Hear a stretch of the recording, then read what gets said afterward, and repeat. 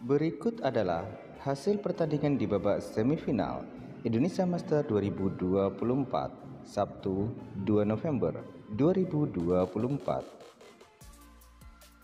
Sebelum lanjut, like, komen, dan subscribe atas sport untuk mendapatkan info-info olahraga.